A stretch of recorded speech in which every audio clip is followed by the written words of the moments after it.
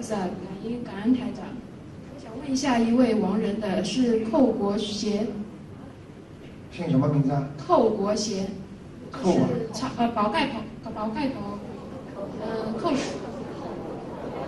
哇，寇准的寇啊！啊，对对对，哇，那个那是那是，那好像是那个叫叫什么族的叫，寇寇国是国家的国，贤嗯、就是那个贤人贤良的寇贤寇寇寇国贤，国贤惠的贤，呃贤良，男的女的啊？男的，二零一一年过世的。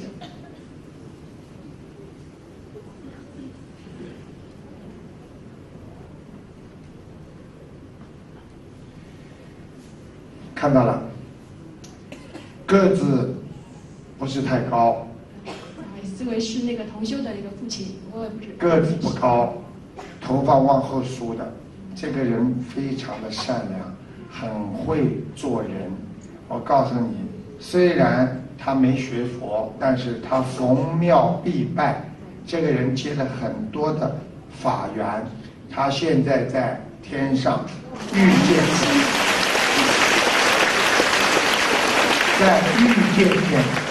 他的我还要告诉你们个好消息，我们是心灵法门的人，在大前天，我又看到一个到了西方极乐世界，而且我看到了他家里人都做梦看到他在天上，在那个西知道这是西方极乐世界，但是台长看到的他是在阿弥陀佛的很后面的右手边的一个角落这个地方。不容易了，角落那也是西方极乐世界啊！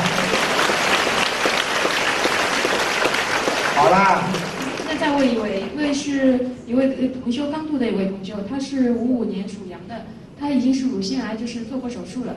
他就说还要需要多少套小房子？五五年属羊的，对乳腺癌是吧？对，他已经念了两百多张小房子。拿掉了，一个整个切除了。